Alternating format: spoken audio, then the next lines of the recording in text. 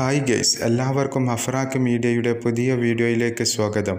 സെർജാനോ കാലിദ് അനഘ നാരായണൻ എന്നിവരെ പ്രധാന കഥാപാത്രങ്ങളാക്കി അനീഷ് അൻവർ സംവിധാനം ചെയ്യുന്ന പുതിയ മലയാള ചിത്രമാണ് രാസ്ത. ജനുവരി അഞ്ചാം തീയതി ഈ ചിത്രം ആഗോളതലത്തിൽ തിയേറ്റർ റിലീസ് ചെയ്യുന്നു.